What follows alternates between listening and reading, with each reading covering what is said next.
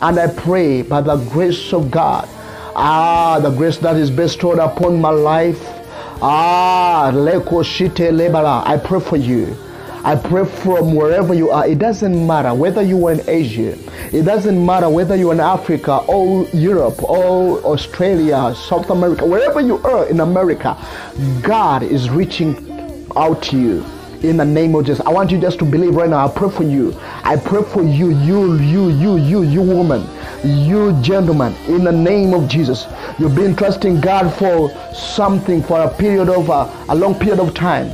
Today, I pray that the God who answered Jacob, God who was uh, faithful to our fathers, may God oh make it happen for you. I pray for the Spirit of God. I pray for the Spirit of God to come to you speedily in the name of Jesus. Oh, I pray for the deals that you've been, you know, uh, uh, waiting for. I pray for the Spirit of God. You receive a call in the name of Jesus. I pray for those who are in Saudi Arabia, in Arab Emirates. I pray for you right now. May you receive favor.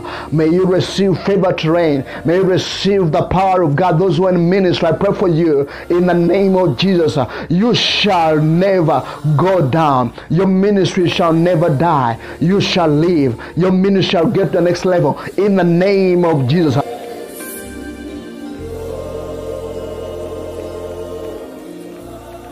have to go.